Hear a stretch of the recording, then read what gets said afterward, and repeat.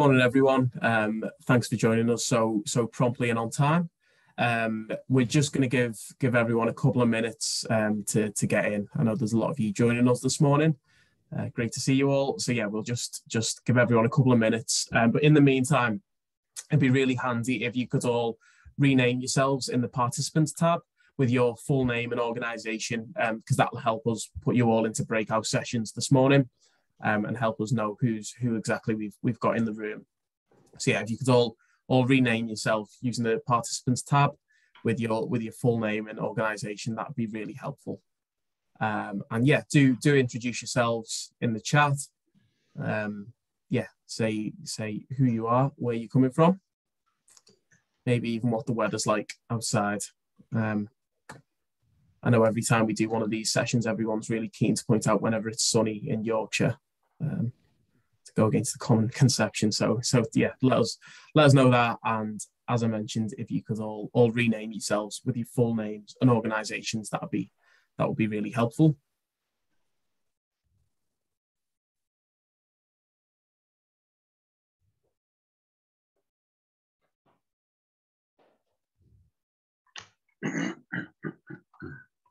Great. We'll just give everyone another minute to, to join us. Um, yeah, if anyone anyone who's just joined, if you could just rename yourself with your full name and organisation in the the chat there, and introduce yourselves in the chat and rename yourselves in the in the participants tab. That'd be really helpful. Rather than wait for everything if I could ask you all to mute yourselves while we're in the main session as well, uh, that would be helpful just to minimize background noise. Um, Mike, I think you, if you click on the participants tab, you should be able to rename yourself in there. But I can I can see you've already got your full name, so that's that's helpful at least. Um, but we will, while everyone's just joining, we'll we'll make a start. So morning everyone, and welcome to this uh, Northern Powergrid Community Energy Training Session on retrofit with Carbon Co-op. Uh, my name's Kai Hoare. I'm a project manager at Regen, working on our community and local energy program and we're a not-for-profit centre of renewable energy expertise, working on a, a mission to transform the energy system for a net zero future. As part of that work, we've been working with, with Northern Powergrid um, over the past three years or so on their community energy work, where we've met many of you online plenty of times, but also also in person as, as well. Um, and it's through that program of work that we've come to, to put on this training session on retrofit this morning a lot of you have told us that you'd, you'd like to know more, like to have a specific session on retrofit, um, which is why we're really delighted uh, to be joined by Jonathan from Carbon Co-op, who are one of the, the foremost uh, community energy organisations in the UK on a leading a pioneering approach to community-led retrofit. So really delighted to be joined to be joined by him, and I'm sure you've all got lots of questions for him that hopefully we can answer uh, throughout this morning's session. And we really want this session uh, to be as interactive as possible. So do continue to use the chat function as we go through this morning. Um, ask any questions you want to ask, introduce yourselves on that. Um, and then we, are also going to be having a few breakouts as we're going through this morning's session. So that's that's really the chance for you to ask ask the questions that you want to do, discuss ideas that come up through this morning with the, with each other, and then bring those back into the main session as well. Um, we're going to be going slightly higher tech this morning as well. We're going to be using Menti um, to get all your, your feedback and thoughts um, at, at, the beginning and the end of the session this morning. Um, so if you if you could have that open, I'll, I'll have details on, on how you do that in just a minute. But yeah, it, it might be easiest if you have, have menti.com open on either a different screen or a different device. It works quite well on mobile devices. Um, and there's a code I'll, I'll get up on the screen in just a second. So yeah, just do be aware of that. If you can give us give us that the, your feedback um, through that, then that would that we yeah we'd really really appreciate that. Um, I think overall, you know, it's really we're really pleased to be doing the session this morning. It's it's a really timely session um, to be doing doing this during Community Energy Fortnight, which is Community Energy England's sort of annual celebration of all things community energy. And this year, the theme is on efficiency first and really looking at how community energy can help us um, address the, the, sort of dual challenges of, of the climate emergency, but also the cost of living crisis, um, and, and the way, looking at the way in which community energy is well placed to deal uh, with, to offer trusted advice and solutions to both, both of those issues. Um, and I'm sure Jonathan is going to going to be able to speak to uh, to plenty of that this this morning. Um, before anything else, I will run through run through our agenda for the for this morning. So hopefully you've all had a chance to uh, to see this already. Um, but we will. So we yeah, obviously got a packed packed agenda. Jonathan's just going to run through the aims of the session and what we're going to get out of it um, before we, we go on to uh, to our introduction breakout. Um, and we're gonna we're, that's really just a chance for you all to say hello um, basically talk about what you want to get out of the session and think about any questions you might have um, then jonathan's going to take us give us a bit of an introduction to retrofit and what the opportunity is uh, for community energy within that and then we're going to have a, a second breakout session uh, for about 15 or 20 minutes just to draw out some of the key questions on that and think about what the opportunity is for retrofit in your community then we're going to have a quick break, chance for you all to, to go get a cup of tea, stretch your legs. Um, and then when we come back, we're going to sort of get into to more, of the, more of the detail. Jonathan's going to talk us through the dynamics of the sector, uh, how you engage people in that, which I know is a particular issue that has come up many times for a lot of community energy groups. Um, and then, you know, almost most importantly, how do, how do you build a business case around this? How, how do you make it pay so that you can develop that retrofit service? Um, and then and then we've got some community energy case studies and then next steps and then that that sort of theme on next steps what how do we take what we've learned this morning and and, and build build on that that's really what we're going to be reflecting on uh, on our third breakout session um, and our feedback at the end so as i said we will be using uh, Menti to get all your your feedback this morning so if i could ask everyone um, to go on menti.com or scan that QR code. As I said, it works works really well on sort of mobile browser, um, or if you get it up on a, on a different screen, that's worked really well. And the code's there, um, 52895030. So if you can all, if you're all able to get onto that. I'll just give everyone a minute. Okay, so hopefully that's working for everyone. I said menti.com and then it's 52895030. And then what we're really keen to know firstly is who's in the room. So just let us know, you know, really briefly, how many people are in your community energy organization. So I know that I know we can categorize that differently, whether that's volunteers, full-time staff. But I suppose if we're thinking about doing a, a retrofit service or retrofit advice, how many people might you have in your organization that could offer that? Um, how yeah, who could you develop that with? And then we we just want to know what's your sort of experience in community energy like. How many how many years old is your organization? How long have you sort of been been looking at this? How long, yeah, how long have you been in, in community energy? Um, so I'll give everyone just another minute or so to, to answer that one.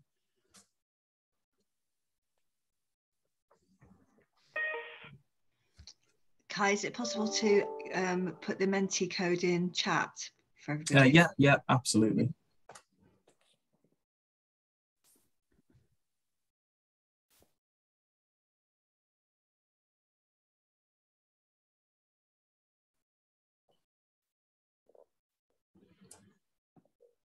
Thanks, Simon.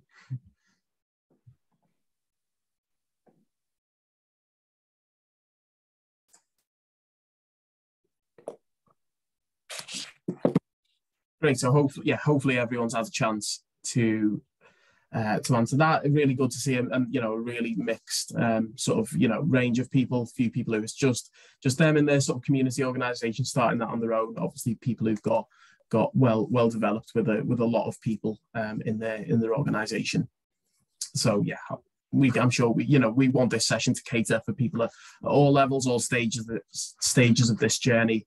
Um, and I know Jonathan's going to speak a bit about that later. Um, and yeah, really interesting to see. It's mainly the newer newer organisations um, that are joining us today. So that's that's great to see. Um, and then the next thing we'd like to know is you can make this as broad or as specific as possible. What's your experience um, of energy efficiency or delivering energy advice work in your community or retrofit? Um, yeah, what's what's your experience of that? Of how, how much of that work have you done? Have you if you've done none of it, that's a perfectly valid answer. Um, yeah, what what type of work have you have you done um, in this in this area so far? You know, have you have you set up a, a stall? Um, in the local shopping centre for energy advice, or if you if you've gone and delivered energy efficiency measures, um, yeah, be as be as broad or as specific as as you want.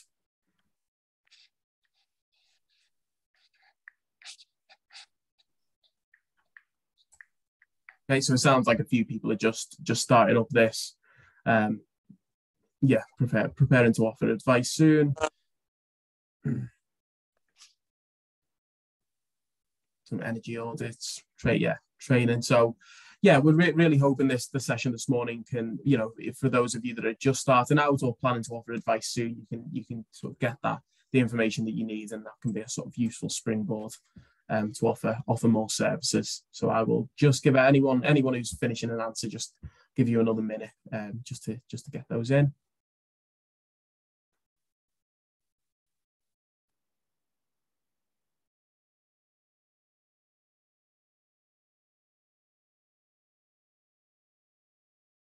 It's good, good to see a real real mix. Um, yeah, many of you just just starting out offering offering energy efficiency work, energy advice. Um, so yeah, and hopefully those that, that haven't started that yet, this this session can be useful um, in terms of taking that work on. And then finally, looking specifically at delivering retrofit um, in your community, how are you how are you feeling about about engaging in this work? Are you feeling positive about it? You know, really excited to go and deliver this work? Are you unsure exactly how that service might work? Are you apprehensive about it? Um, yeah, how how you uh, overall how would you describe your, your feelings about about engaging in retrofit delivery work? Maybe that's informed by conversations you've had in your community. Maybe you're yeah excited. That's that's really good to hear. Um, you know, unsure. That's that's absolutely fine. I think it's uh, you know it can be can be difficult to see to see how we sort of solve this this problem. It, it does seem quite quite massive at times, but I'm sure Jonathan can can allay some of those um, uncertainties this morning.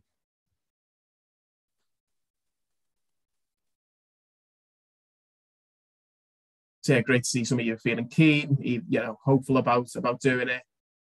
Some of you having a bit, causing a bit of a headache, uh, finding it a bit tricky, a bit of a mountain to climb, which which I agree can, you know, can definitely definitely feel like that when you when you're starting up. So um, yeah, as I said, hopefully this the session this morning is is really useful in helping just unpick some of those some of those difficulties that people have found, or if you know if you're all really positive and excited to go and do it, then it can it can get you ready to go and go and start delivering that um, yeah, thank thank you everyone for giving us giving us those those answers. Uh, really useful to inform us as we're going through this morning's session. Uh, and I will now hand over to Jonathan.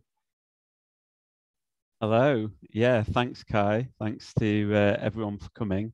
Uh, it's a fa really fantastic turnout and fantastic to see that people are really excited and energized to think about energy efficiency um, and retrofit.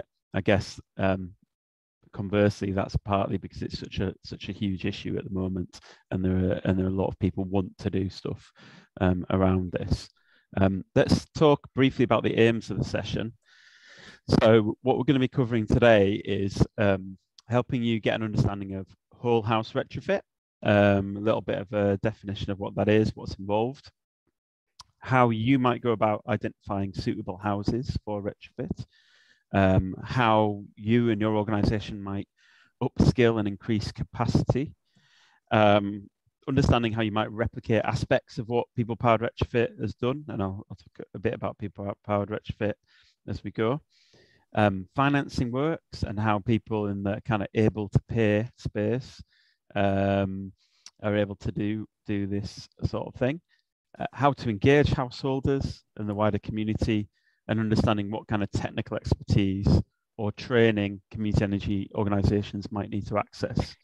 Um, one thing I'd say is like this is the first time we've run this session. Um, I've based it on other previous sessions I've done, but also the brief that Kai has given me and also Northern Powergrid. And so um, we've done our very best to try and cover as much of this as we can in the time available, just over two hours. But I would say is inevitably there will be things that we haven't answered or we haven't covered. Now we've built into this several breakout sessions, um, and the intention of those is for you to both well the intention is so that you're not sat in a session for two and a half hours, which I know, having done that myself, can send one to sleep quite easily. So you've got some time where you're actually talking and, and interacting with the people, because got some great people on the call. Um, but also it's an opportunity to kind of formulate questions and reflect on on the the content that you've heard. So we we totally understand that we may not have covered everything and there may be gaps, and it's an opportunity for you to ask us basically um, to pose those questions. Um, fundamentally, also we want to improve and and do further sessions in the future. So again, as it's the first time we've run this particular session, um, it will be it's a good opportunity for us to understand what we've missed, what we could improve, what we could do better, that sort of thing. Um, okay, so I'm just going to move on. I'll talk about a little bit about carbon and people powered retrofit, and then there'll be a chance for you to talk um, to other people. Um, just a little bit about my background. I'm actually originally from the Northeast. I'm from Guisborough near Middlesbrough. Um, that's where I grew up. I came to Manchester to do climate science at university here. Um, after leaving university, I got involved in environmental politics and also in cooperatives, community action. Um, and I've worked in cooperatives ever, ever since I left university. Uh, Carbon Co-op uh, came about as a collaboration between myself and Urbed, who are a technical um, urban design consultancy with retrofit expertise in, in Manchester. And we started uh, many years ago now, it feels, in 2007, 2008. Um, and the idea behind Carbon Co-op was an understanding that the energy transition was in motion and happening, and we're starting to see things move in time uh, from an old kind of centralized system to the new one.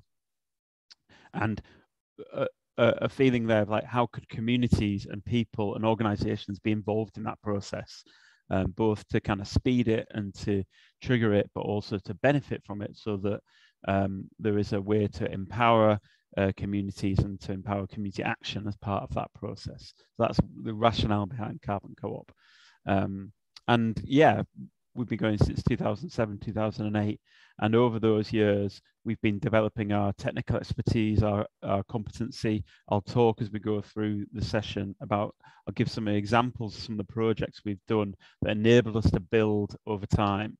Um, I think one one question often get asked is like, how do you, how would we do what you've done? And it is very much a, a stepwise process that we went through of small projects, small amounts of, of funding and money, but building over time and always looking to see how our projects could build towards towards where we got to now or, or and to go beyond that as well. Um, Carbon Co-op, uh, historically, we've always done lots lots of retrofit projects and um, and and uh, lots of things in this space, but we also do energy systems innovation, things like demand side response and flexibility. It gets quite complicated, but uh, things in the home like electric vehicle chargers and heat pumps and becoming more flexible. And also we're involved with um, uh, greater citizen advocacy, basically helping technical policymakers uh, communicate with um, people and communities and helping them communities be involved in the energy transition. Um, and just a little bit of background about where these two organizations are well, Carbon Co-op. So it, we now have 450 members in Greater Manchester and beyond. And I know maybe we have some members in the audience today, and uh, a staff team of 15 now. Um, and then more recently, we've spawned People Powered Retrofit, a separate community benefit society with a specific focus on uh, delivering uh, retrofit for householders who are able to pay for those services, people that own their own homes, the work is specifically in the Greater Manchester area, with a little bit beyond that as well. Um, and we other do and we do other stuff, including contractor training. People Powered Retrofit is a separate organisation, separate community benefit society. We did a community share issue last year, so we have 350 plus members. We raised uh, three quarters of a million pounds. Um, and now People Powered Retrofit has 12 members of staff and growing as well. So two big organizations, but we've started very small and grown stepwise over time. Okay, I think now, yes, now we have time for our breakout session. So we have some fantastic organizations in a room and we want to get you to chat to each other, um, basically to introduce yourselves, why you're here, what you're hoping to get out of it. We've got 10 minutes for this and um, just to, for the facilitators and for Kai, if we could run it till 10.30, I think that's totally fine. Um, um, yeah, Um, so someone needs to press a button to get us in our. I hope you all found that breakout session useful uh, as, as, a, as a way to just introduce yourselves, uh, just think through some of some of what we're going to be talking about today, and I will now hand back over to Jonathan. Yeah, I mean, it was a really interesting small uh, group session in our in our small group, and a diversity of different organisations at different stages and different levels, and that's what something I wanted to reflect from the um, the survey we sent when people registered.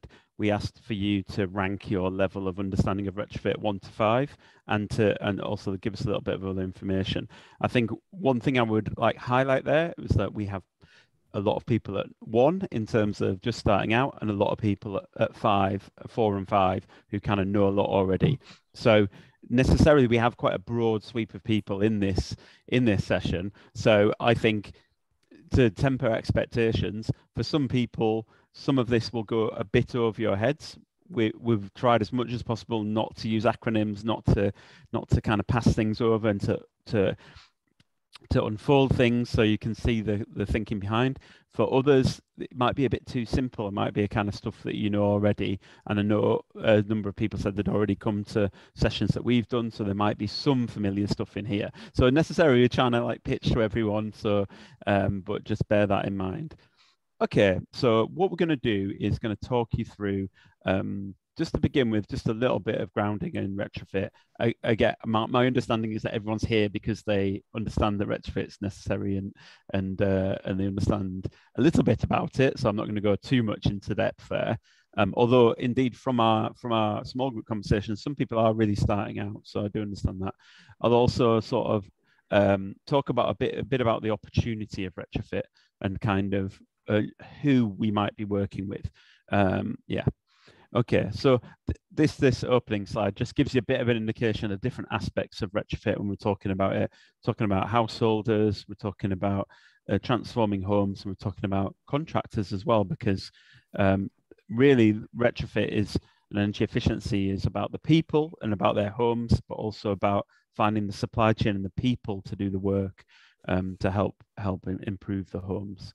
And historically, that's been one of the kind of barriers.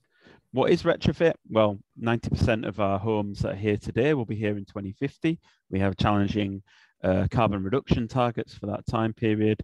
So ipso facto, we have to improve the energy efficiency um, of, of those homes. The, the demand for heat, the demand to power those homes, we need to reduce to enable us to meet some of those targets to reduce carbon emissions. Irrespective of the fact that we're decarbonising the electricity system, there is limitations in how much power we can generate um, cleanly and, and when we can do it.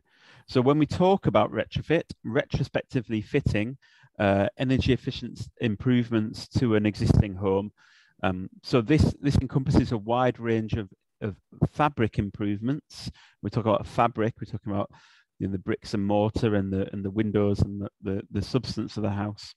So that might be wall, floor, roof insulation, draft proofing and air tightness, which is um, kind of what it is, what it says on the tin, like reducing drafts and reducing cold, uh, uh, like um, sealing up uh, kind of um, uh, places where where where uh, heat is lost in in a room in a in a house. Uh, replacement of high performance windows and doors. We talk about triple glazing, you know, double good high quality double glazing is fine, but you might want to go to triple in some instances. Now, with this, we uh, we absolutely recommend an upgrade to ventilation systems as well, because if you're improving a fabric, if you're reducing airflow, you want to help people breathe, um, but also toxins and poor air quality can build up, and um, also um, um, you know, water vapor as well as we cook and breathe and and wash as well. So you need a, a process for removing those kind of that kind of humidity from the from the air.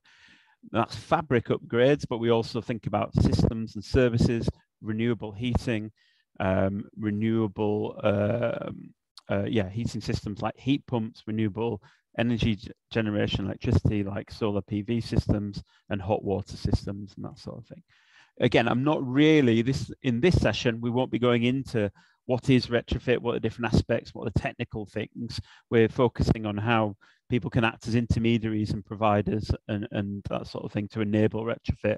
Um, but obviously, if if you're new to this, there are sources of information, uh, Energy Savings Trust or the People Powered Retrofit website and other places where you can learn a bit about the technical aspects of it.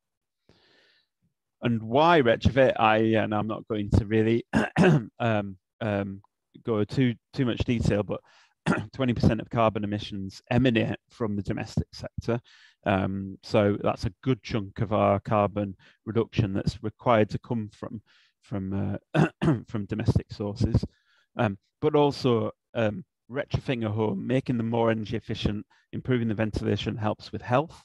Um, a lot of chronic health conditions are linked to um, poor air quality and, and damp homes reduce bills, and you know that's a huge issue at present. It can tackle fuel poverty. Um, in in many instances, people may actually use a bit more uh, energy in their homes when you reduce when you reduce the demand. You know, so you actually might be tackling other things like health when you when you uh, do energy efficiency in the fuel poverty context. The, but there's also a huge economic benefit of new skills but we what we would advocate for was local economic development, in, improving local supply chains rather than kind of thinking about this as you know big multinationals or what have you. It's the local um, suppliers that tend to get involved in this. Um, yeah, and I wanted to um, just I just wanted to mark really the fact that I understand, and having been in a small group session, only underlined that that people are a diversity of different stages here. Yeah. And what I don't want to do is to say this is right and that's wrong. Yeah. So what what the point I'm making here is um, there are some people and some groups that just aspire to advice. You know, they just want to give out advice on retrofit. You know, um, what should people do? What should they think about? How could they go about it? That sort of thing. That um, traditionally community energy organisations have been involved in offering advice, usually around energy bill switching and very basic energy efficiency, um, and that and that's fine. Other organisations want to go a bit further. They want to get they want to advocate for other people to do work. They might want to recommend or at least signpost uh, householders and, and people in their community to contractors or consultants or architects or even schemes that the council are running uh, and what have you they may also want to act as a bit of a trusted advocate, you know, to um, be a bit of a sense check for householders, for people, um, to sort of help them see the wood from the trees. We do know, sadly, there are instances of mis-selling within solar PV industry, and as as retrofit becomes more and more of a more high profile, we can we can envisage a similar kind of mis-selling. So acting as an advocate and a kind of um, passing information um, and becoming expert is another is another role there is a third role which is actually delivering retrofit works and retrofit schemes either via funding or actually getting involved offering services contracting yeah and so there is that continuum from advice to advocacy to delivery and and we're trying to cover a bit of everything in this session Carbon Co-op and now People Powered Retrofit, we've been involved in all those different stages. But throughout our mission, we've always focused on the delivery of retrofit, and we got involved in as early in our development as we could in actually delivering retrofit works.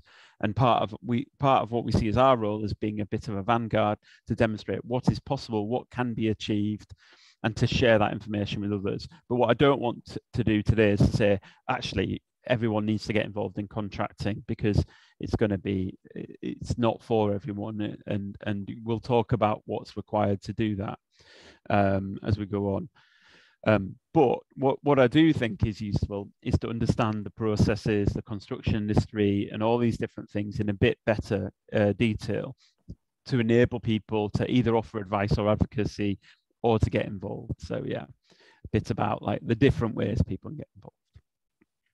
Okay, so next, um, the next uh, section is on the opportunity, and we'll do this, and we'll go to another breakout, and then and then a break.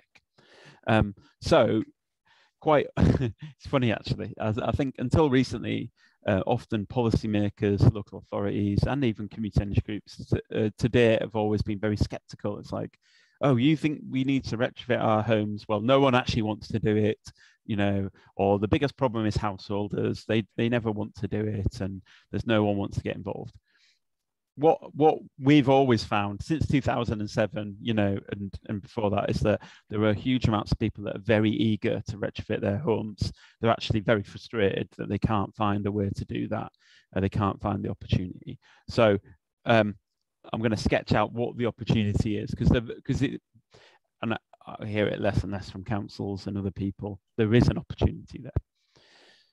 So to begin with, I would say I would ask the question. I will answer this, but I'll ask the question is like, so we're talking in this instance as well. We're talking about the able to pay or the willing to pay. Yeah, that's people who are able to pay for works. They have the access to money and funds to do this, and and they want to pay as well. What, what I would like to really highlight is um, just because this session is talking about the able to pay, it doesn't mean we disregard people that aren't able to pay, people in fuel poverty or in low incomes. And indeed, a lot of Carbon Co-op's work now, since People Powered Retrofit, is to focus on people who aren't able to pay. They may be involved in other schemes or they may be involved in other things. There's a huge question around energy justice, around the transfer of resources from those who have resources to those who don't and we're very involved with that. So I'm not just because today we're talking about people who have money doesn't mean you know we disregard those that don't. So be able to pay. So what we'll talk about is segmentation, understanding like who are these people, where do they live, who are the retrofit clients, who are the people that have money and are willing and interested to pay. And, and part of the process of people powered retrofit was to look at Greater Manchester, for example, and look at those areas where people are more likely to live, who are more likely to commission this work. A fundamental kind of um, concept here is the innovation curve, the so-called Rogers innovation curve. This curve is uh, the adoption of new technologies and services and is seen through many, many different types of technology from mobile phones to electric vehicles to all sorts of things. Now, it typifies innovators and early adopters as the first to take up a new innovation before they move on to the early majority and late majority and laggards. What, what the takeaway is here is that there are people who are super motivated and want to retrofit their homes they are the innovators, they are the early adopters because it is not a normal service. It's not something you can just pick up the phone and dial someone and say, I want a retrofit tomorrow. It's a new service. So we have early adopters and they are different from the early and late majority. Now, often people say, yeah, but we want retrofit for everyone and we want to benefit. And, and that is absolutely the case. We, we do want to target everyone, but we need to, just with every kind of technology, we need to target the early adopters first and build uh, technologies and tools and delivery things for those people before moving on to the middle ground. Uh, it's like it's it's like saying in the 80s, well, I want to build a, a mobile phone that works for everyone, you know, um, because the tools and technologies, the services, the ways of delivering that that mobile phone didn't exist at that time, and what the mid majority needs won't be here at the moment you know and and we need to accept that and understand who are the people in that in that kind of innovator and early adopter.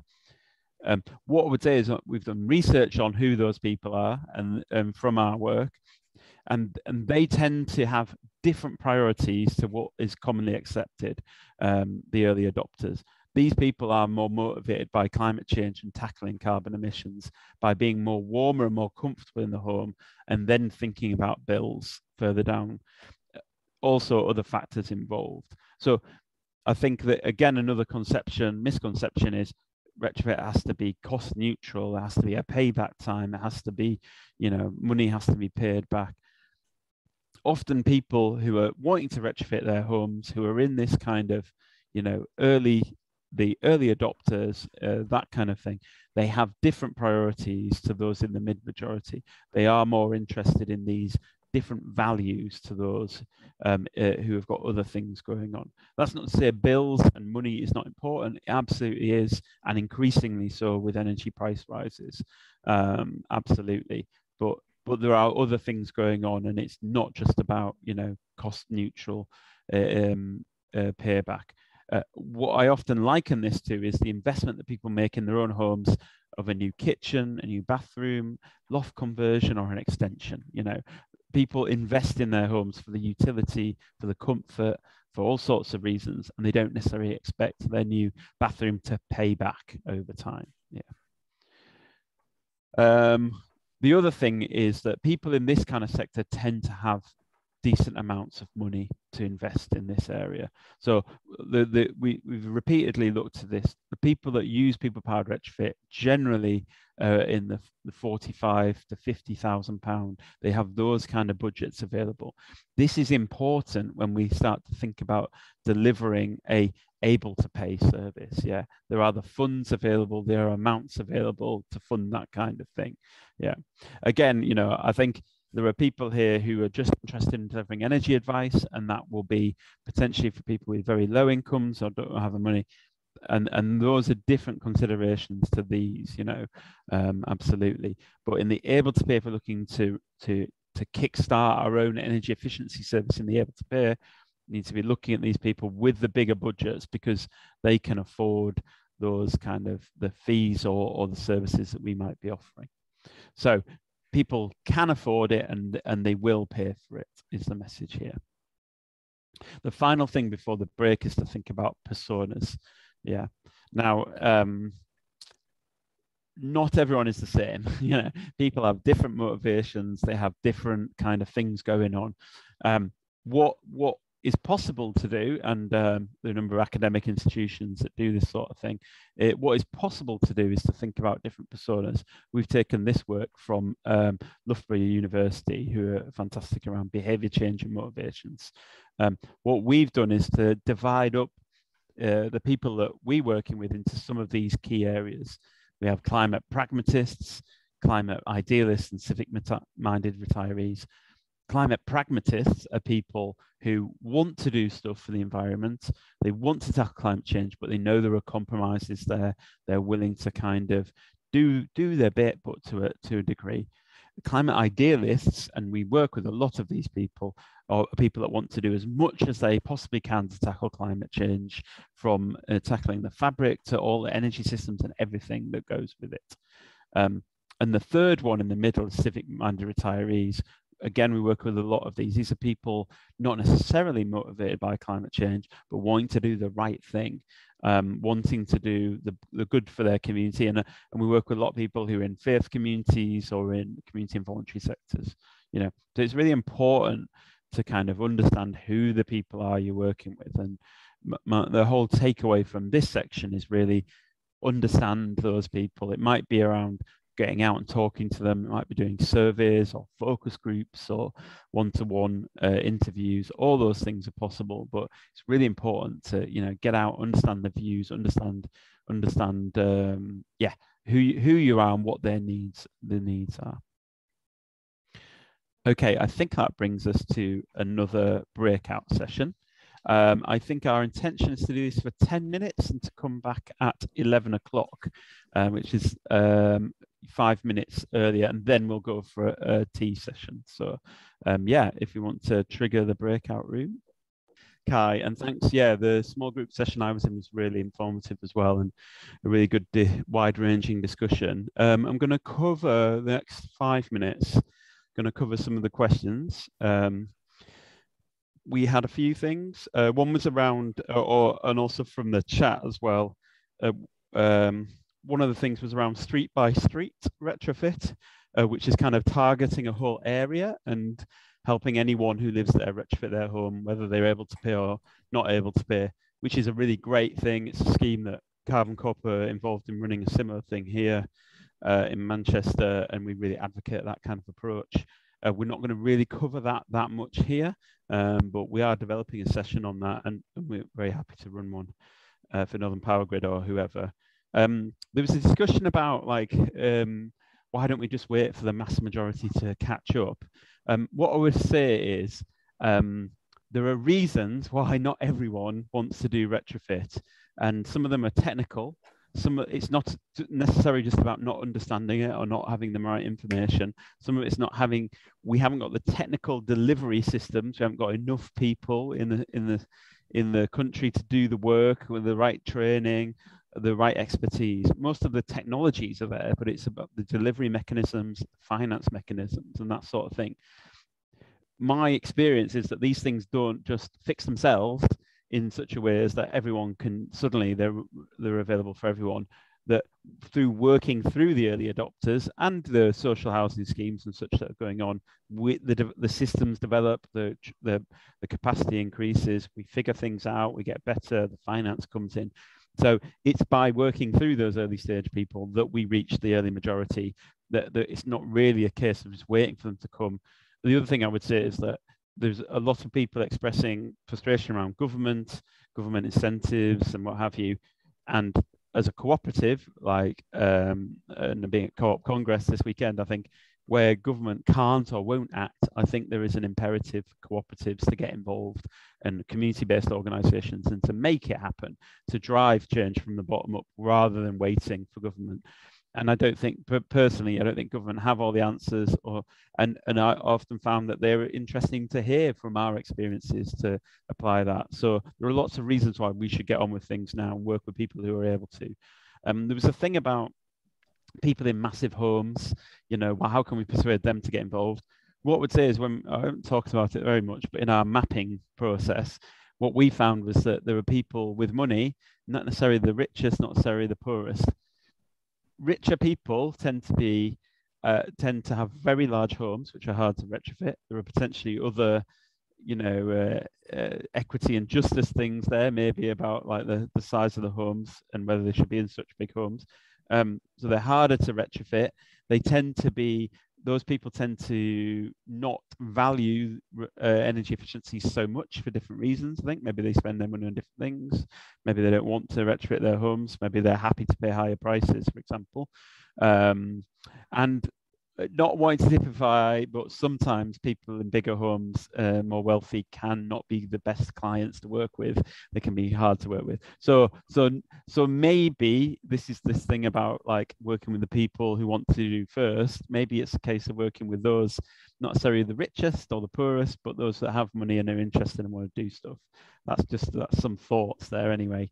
Um, price puts people off. Price puts a lot of people off. But I think, as our research shows, a lot of people are happy to pay these sorts of amounts of money and are willing. Now, we talk about prices so much, but the, and we'll come on to talk about, but a scheme that we did with deep retrofit cost £40,000 average per property over a cohort of 12, which isn't like it's I know it's a lot of money. I'm not saying it's not a lot of money, but it's within, it's achievable by a lot of people in the UK, probably more than they actually want to do retrofit. So, whilst there will be need for finance options and all sorts, and Jay rightly in the chat pointed out around loan finance as an opportunity there, which I think is very much the case. Um, there are also a large number of people that don't need that and are able to go for it. So, price does put some people off, but the, but there are enough people for us to work with in the owner occupier able to pay space to get to get going. Um, and independent advice that's a very interesting. Uh, what like is it possible to get independent advice without paying for it? Unfortunately, the government has uh, historically not funded independent energy advice, and people like Energy Savings Trust have to go out there, earn money, and uh, and raise money to do the do what was once government funded. Government are consulting on new energy advice, so there might be an instance where energy advice will be offered um, independently, but it's but it's likely to be relatively high level. Um, it can be hard to find independent advice that you don't pay for. You sometimes end up with people essentially selling something, and their advice comes with strings attached. So um, and that or, or you're looking at councils, local authorities, or just people uh, who are volunteers, and, and that is hard to to accumulate very technical advice that people often value.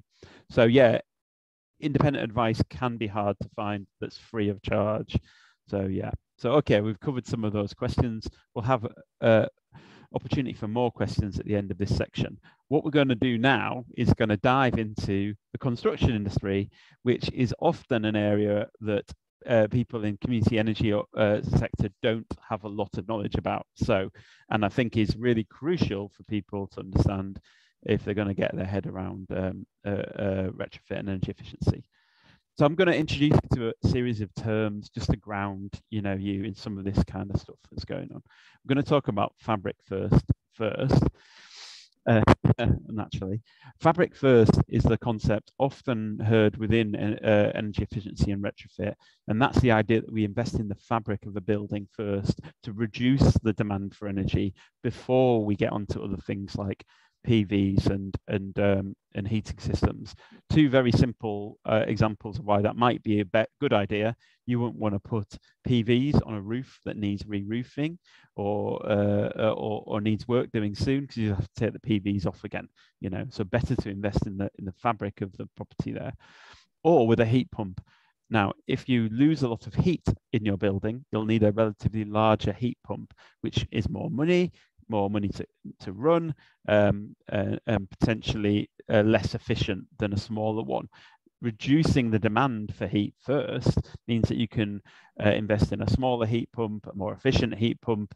Um, and it also means that if you do the heat pump first and then you want to reduce the fabric or you want to uh, treat the fabric, the insulation later, um, you've got a heat pump that's too big and you have to take that out again. So fabric first for a lot of different reasons is is is what we would advocate and what other people I think should be advocating for making homes more comfortable, easier to heat, more healthy. There's a, there's a clear fuel poverty kind of aspect to that, as well as able to pay, protecting the building, making sure the building is going to be there in another 50 years, 100 years, however long.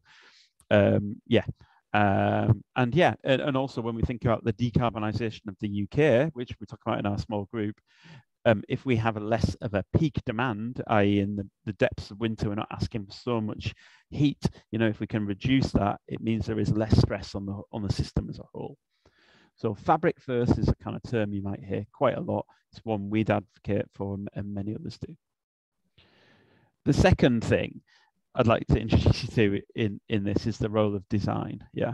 And um, we have a picture here on the left. There's a, there's a contractor there uh, contractor who carries out design work himself. And on the right hand side is our lead architect at People Powered Retrofit, Marianne Heaslip, who does the design work here. A lot of people um, who are new to retrofit and new to energy efficiency don't fully conceptualize or to or, or consider the role of design within this system. So um, we, we look at we look at a property, we see what's needed, and we say, okay, we need some insulation, we need some windows, and we need a new ventilation system and what have you. And uh, oh, we need to insulate under the floors. Now, potentially people relatively new to the sector might say, okay, we just get the contractor in, we tell them what needs to be done, and they just do it. Yeah. And and indeed, if we were if we were doing simpler works, that might be might be the case. You know, perhaps if we're getting solar panels done, we'd say to the solar panel installer, "There's the roof we need this many panels or we have this amount of money, you know, please do it. And the design work, the thinking about where the panels go, how they're orientated, the size of them, where the inverter goes, is done by the installer. So design is carried out by the, the fitter there, yeah. And that's, uh, uh, that's installer-led design. When it comes to retrofit, there are complexities involved, complexities of fitting different measures and different improvements together yeah. And there are also risks involved as well which are well publicized the risks in, in energy efficiency of getting it wrong of of um, either applying it wrongly or not taking into account the existing fabric and the and details or potentially um, uh, you know uh, affecting ventilation in such a way as that condensation appears you know again, I'm not going to go into the technical aspects of, of retrofit. There are, there are other workshops and, and things we can do that. But just to say that it's it's a it's widely acknowledged there are risks to retrofit. As a result, we we advocate a degree of design work is required. You know, so we need to engage people like uh, architects, quantity surveyors, surveyors, and what have you in this kind of work. Um, so um, I think that's a consideration to take into account here. Sometimes, and in the past, government uh, and, and things like Grenfell have changed that, and, and poor examples of retrofit work. in the in the past government is trying to reduce the the design aspect to kind of wish it away in a sense and say well we don't need to really do any design work but i think it's it's clear now to government to other people that design is required so if you're thinking about uh, running a retrofit scheme you need to not just think about supply chain in the terms of like getting the builders but also thinking about designers consultants and other people okay thought about fabric first think about think about design. another another key term to get a handle on here, PAS 2035, which is like a horrible acronym that uh, many people I'm sure will just instantly forget. Um, now, linked to the previous point really about uh, about design, there have been a number of retrofit schemes in the past that um, were were not done properly you know and and that's not to say that many many retrofit schemes weren't done well because they were but there were examples well documented examples of schemes that were done badly. And um, widespread acknowledgement from government and from those in the sector that these have damaged um, the reputation of retrofit and a damaged um, householder trust in the idea of getting a retrofit done you know um, um, rightly so as well in response to that, um, the sector initiated a review called Each Home Counts um, in the mid 2010s. And then more latterly, um, uh, from that review came a standard, a British Standard Institute, BSI standard, PAS 2035. The 2035 just is there are many, many different standards for many, many different things, consumer products and all sorts. This happens to be, there's no, it's not a date, um, is what I'm trying to say there. Um, and there is indeed like another retrofit standard PAS 2030 as well. So uh, all the more complicated. Um, you can obtain the standard and you can read it. And I would actually say for those with a little bit of technical competency, you don't have to be an architect to read it. It's actually quite readable. And um, what it does is set out the process and the framework, which is what I'm showing on the right hand side, the framework through uh, the order through which people should do retrofit schemes. Again, I'm not I'm not saying that um, that uh, community energy groups need to understand PAS 2035 back to front, understand all the applications of it, but uh, but an understanding of the context of it is useful, and it is under and and, and just a, a high level understanding of it is good if you're going to be navigating this kind of area, whether it be through an owner occupier retrofit scheme or through a, a council scheme or what have you. I'd also say that PAS 2035 accreditation, you know, a scheme that is accredited within this standard, um, is not is is often a requirement for publicly procured works, but doesn't necessarily need to be a requirement for works done in the owner occupier sector. I think there's a good there's a good framework. There's a lot of common sense in here. There are also some things in this which exclude um, organisations in the community energy sector, and and uh, indeed the technical authors of PAS 2035 admit that as well, acknowledge that. So a, a good framework, a good context to understand, but not necessarily something to read back to front contracting is hard. I, I, I've got a couple of slides here about contractors, and a, a lot of um, a lot of community energy groups rightly highlight the lack of contractors as a, a limitation to delivery of energy efficiency works. Um, I think what what I've been trying to say with these previous slides is, especially the thing around design, is like it's not just about contractors or builders, let's call them. You know, there are there are wider skill set involved in retrofit and and it's important to conceptualize that it's not just about builders when we do think about builders some sometimes people say oh why, why don't you do building why don't you do the contracting work um, as a community intermediary you know um, and my response is often because contracting is quite hard to do. My, my father was a contractor for many years in Middlesbrough, and I can tell you lots of different stories about how contracting works. But it's a very, very different business model to the kind of advice offering services to householders, helping people go through the through the system of retrofitting their homes. It's often a, it's a cash flow heavy uh, enterprise. There's a lot of risk involved. People go bust. You know, even good contractors go bust for all sorts of different reasons. So contracting is a hard business to get into.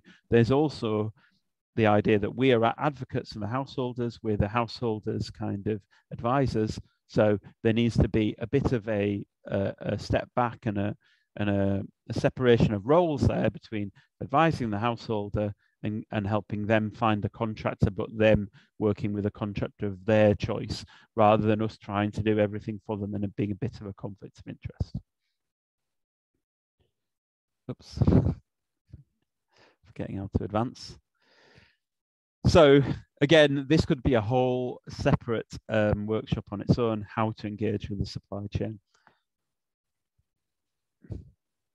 Again, the point here is there are many and various different people within that supply chain.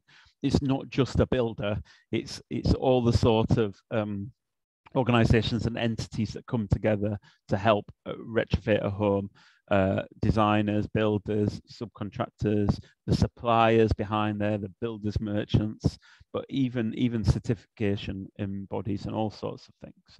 So there are lots of people involved there. Um, so um, I see some discussion about PAS 2035.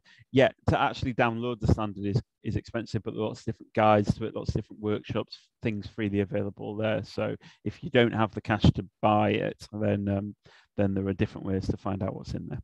Um, okay, supply chain. Um, for me, okay, it, relationship building is really key, and we have people here from many different kind of areas, urban, rural, what have you. It's about building relationships with the contractors that work in an area. And that, that is likely to be people are already working in, in homes, uh, people are already uh, fitting kitchens and bathrooms and loft conversions and extensions. These are the people likely to want to skill up to go into these areas. Um, I think it's important as well to understand that supply chain, these are businesses as well. So they, you know, they are Whereas I know we're motivated for all sorts of reasons, and the householders themselves, supply chain are businesses. So it's important to understand the, how they see this as a business, um, and and to ensure that there's an opportunity for them.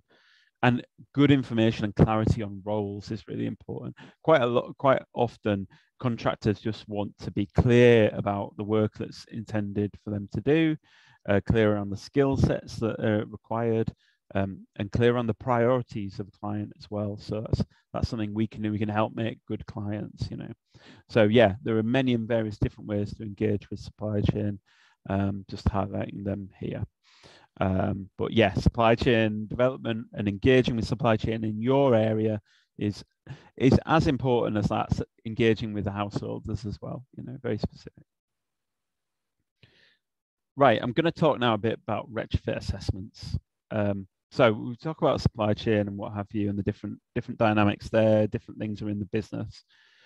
Retrofit assessments. Now, what why would we assess a property? An assessment of a property generally involves someone visiting the property, an assessor, retrofit assessor, making an assessment of that property, uh, in terms of where it, what kind of state it's in at the moment, and then making some recommendations for the different things the household can do to reduce their energy demand. So the key questions we, we um, this is the thing we got involved with first was like where where to start, where as a householder, what should I do first? Which measures will have the most impact? If I have, for example, five thousand pounds or two thousand or twenty thousand, what should I do first, or what should I do with that money? And what does my whole house plan look like? I've used that as a sort of shortcut to like if I wanted to retrofit my whole property, what would it look like? Yeah. Um, there we go. So there are different types of assessments that people can do. And the assessments that you might get involved with will have a bearing on the kind of services that you might want to offer and and again thinking in you know with our advice uh, advocacy and delivery it might be you're just interested in advice and you don't want to get really really involved in the technical side of things. That's totally fine. It might be that you want to get really involved with things. So it's important to understand the kind of assessments you might want to offer either yourselves or via others. The starting point really is quite a general uh, household condition survey or a walkthrough survey um, and we've done these ourselves, like tick boxes, home energy checks. People might have done in the past. Energy Savings Trust have done those. um, the thermal imaging surveys where you point and click a camera. Uh, there's an organisation Cheese does those, but anyone really can use use a thermal imaging camera to do a basic condition survey of a household. These are good kind of starting points, you know, um, to engage householders. Um, what I would um, temper is that don't expect a householder to do a large amount of, of uh, fabric improvement, you know, installation on the basis of a walkthrough. It's generally the assessors will be like of lower technical competency and skill. So the assessments might be low cost or free, that's fine, but they're not going to inform huge works. EPCs, and this came from a small group, energy performance certificates. This is a little bit of a wrong tool for the job, I would say energy performance certificates mandated by government as a way to um, benchmark where a property is on energy performance uh, stand A to G. Um, uh, a framework mandated by the European Union and implemented here uh, as energy performance certificates, a very simple model, an energy energy model, where you put in some numbers, there's a model in the background, does some calculations and spits out a number. Cheap to do, but as a result, often quite inaccurate. Um, I've seen EPCs being sold as cheaply as forty pounds. You know, it's a very quick, um, low skill kind of task. Uh, often, community energy groups are saying, "Should we do? Should we train our assessors as, as EPC assessors?" I would say it's a very cutthroat, low. It's a low value kind of uh, service, and I would really, really um, uh, caution against going down that road because EPCs can give a different, um, a misleading sometimes understanding of energy performance, um, and it's it's important there. They, they, they offer some recommendations in there. Again, that's kind of an automated thing, and uh, again, I would temper that, temper the recommendations in an EPC what you may be interested in if you want to go beyond that kind of survey, basic survey walkthrough, is something like a retrofit assessment, a more more detailed home whole house retrofit. Um, uh, people powered retrofit, we do a home retrofit planner assessment, like a full full assessment that gives a full set of scenarios, things people can do. There's also something called Planet PHPP, Planet Passive House Planning Package, quite a mouthful, um, which is similar to something like that. You know, full SAP, standard assessment procedure, is the methodology that generates EPCs on a reduced version, but in a full version can be used to do these, these more expansive assessments. So um, you have a range of different things there. Again, uh, converse is true of the surveys. These are more people with more training, more expertise, more costly to employ them, more but the but what comes out at the end is more detailed and can be used to then inform higher higher net higher kind of value works. Okay so i in that section i've kind of helped give you a little bit of a navigation into the um, into the industry the construction industry understanding a few of the dynamics the idea of design things like PAS 2035 the understanding of assessments and where things go and contractors as well. Again, as I said, you know, necessarily this is a skip through given the breadth of what we're covering, but hopefully it gives you a bit of an understanding and a bit of a grounding and uh, areas for, for exploration. Going to talk a little bit, SAP is standard assessment procedure. Uh, yeah, so one of the questions there. Engagement now we'll talk about engagement how do you find those if we think we have people in our area how do you find them? How do you contact them? I will sort of typify this with some of the older approaches which i feel are discredited in this area. Uh, so um, for green deal which was a failed government scheme there was a lot of stock photography articles in newspapers of like fake people ministers shaking hands, adverts on the back of buses. This failed to gain the trust of householders, the engagement of householders, and despite the fact that this was a scheme aimed at the mass market, it failed to achieve mass market. All sorts of different reasons for that, but certainly engagement was one of those. The approach that we would advocate, without again going far, too far into the idea of marketing, but is community-based social marketing. Okay, so community-based social marketing, and just to highlight, this isn't doesn't mean social media can involve social media, but it but it predominantly is social marketing is a thing in and of, of itself, pioneered within the health sector as a way to kickstart campaigns around healthy eating and anti-smoking and that sort of thing. It's ideally suited to innovative new behaviors and new norms. Um, as I said before, this isn't normal thing, you know. Um, retrofit isn't something that everyone does, and it, there's there's a challenge to kind of helping people understand what it is. Social marketing is very community-based, neighborhood scale, bottom up, and it's using peers and trusted institutions to deliver messages. Um, and it's fundamentally about communicating values and shared values. Um, I think it resonates really well with community energy because a lot of what we do is social marketing.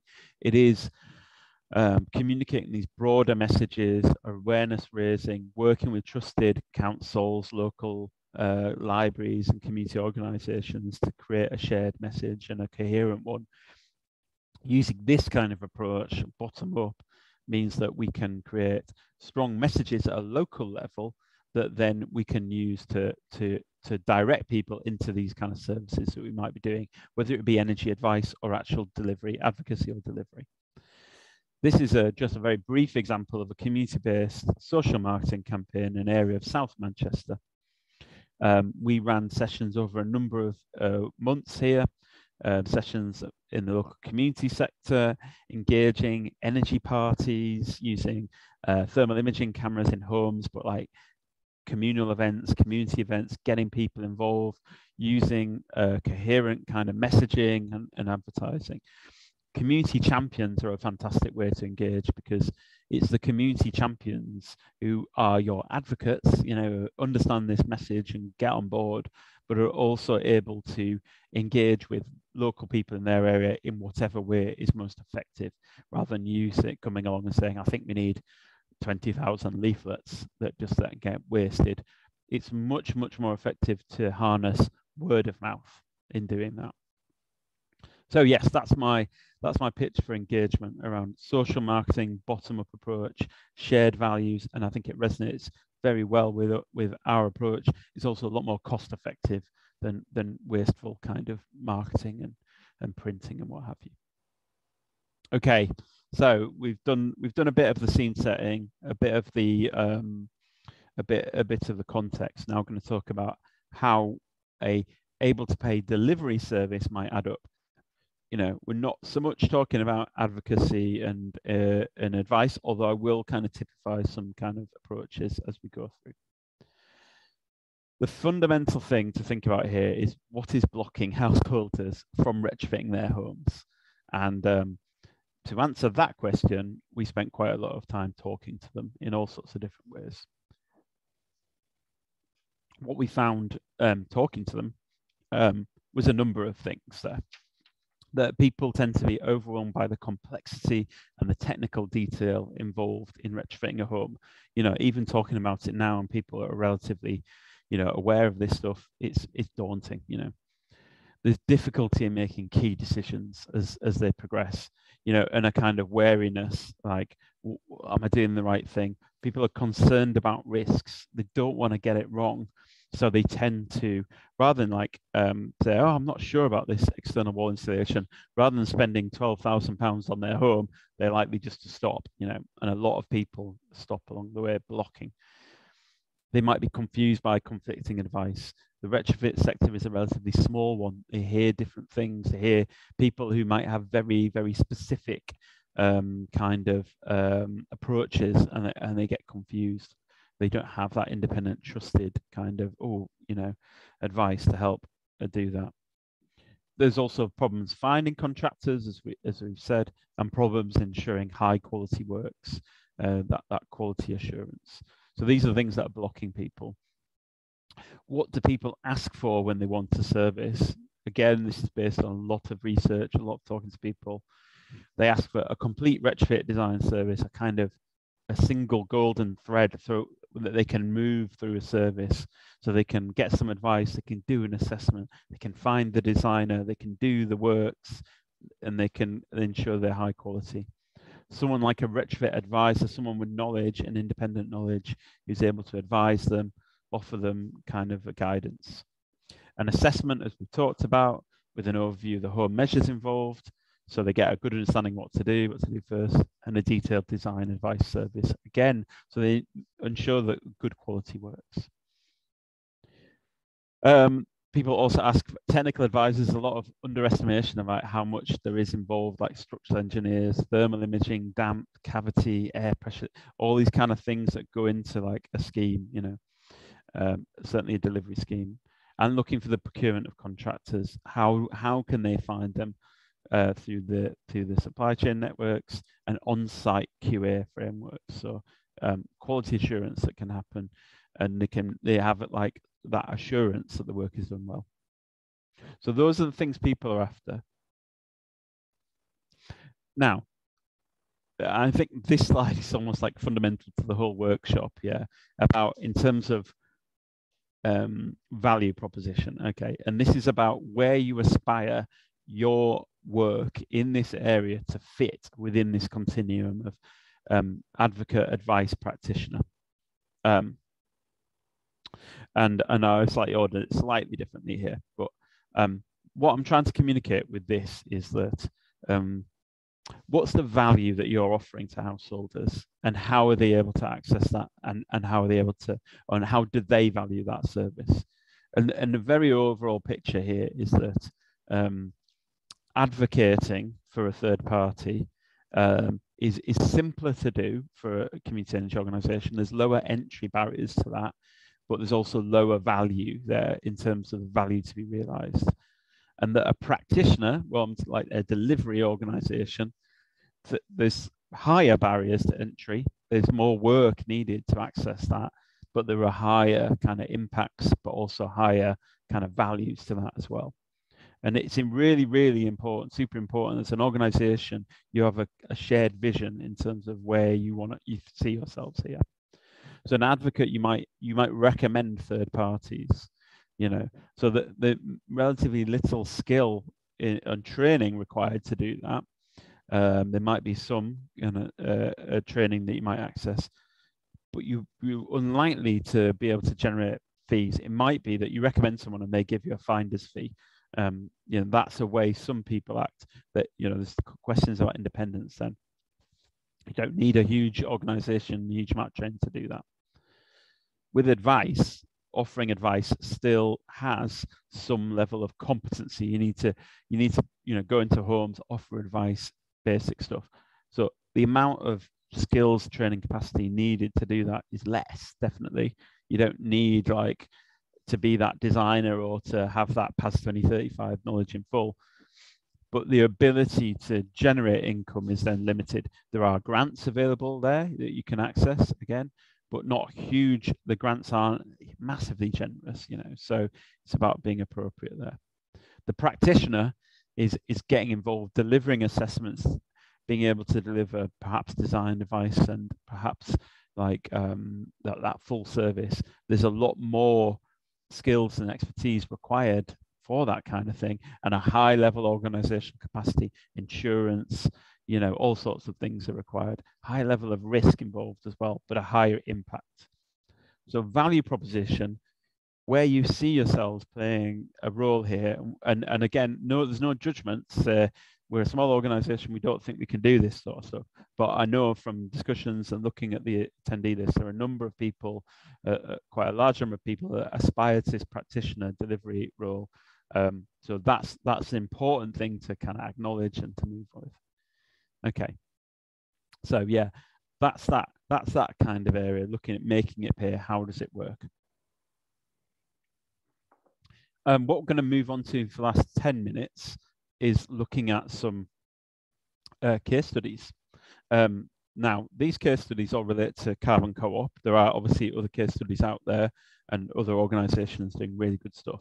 But what I wanted to do was just to typify three kind of ways in which Carbon Co-op and then People Powered Retrofit have um, participated in this sector to kind of demonstrate what might be possible and what what organizations might aspire to and i think again it is important in kind of having that vision of where we see ourselves fitting Um, Home Retrofit Planner is a tool that we've developed ourselves, and um, it is an assessment methodology, a tool, and a service that we that we offer to people. And how we got involved with this was that um, 10 years ago now, actually 2012, um, there was some government money from Department of Energy and Climate Change to deliver um, local energy projects.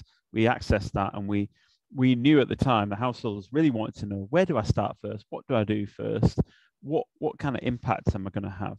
And so we developed this um, tool, very simple at first. It was a spreadsheet based on SAP, the government's methodology, and we started to deliver it and we tested it out. And over the last 10 years, we've delivered to hundreds of people. And this has become an income generator for ourselves. So um, it's a great way to get people, householders, on that journey. This gives them, so it baselines their energy use. It gives them a set of scenarios, measures, sets of measures. So each scenario is a number of different measures costed measures, specific and, and information about the impact and information about demand as well in terms of the, the energy reduction demand uh, as well. It's a great way to enable people to get started, but a great way as a community energy organization to kind of start generating income. And I really would advocate kind of um, an assessment service is a good kind of starting point, maybe after advice and what have you, um, if you're engaging in as a practitioner.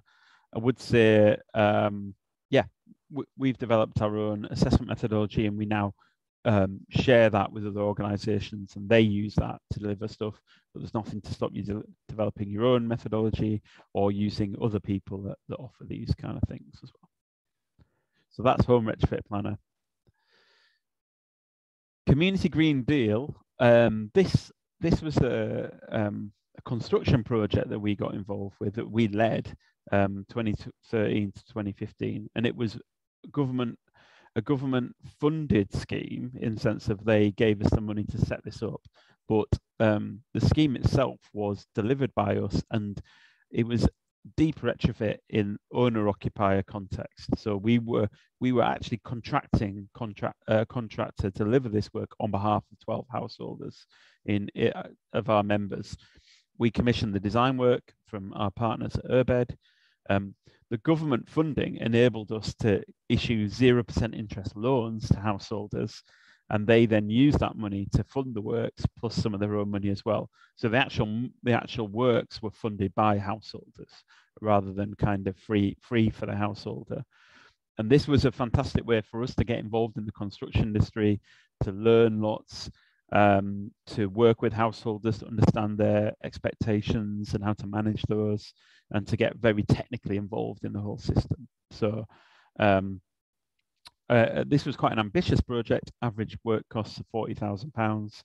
Big impact, you know, thousand pounds a year energy bill savings, fifty percent space heating demand reductions. So really, you know, really good impact, uh, but very ambitious.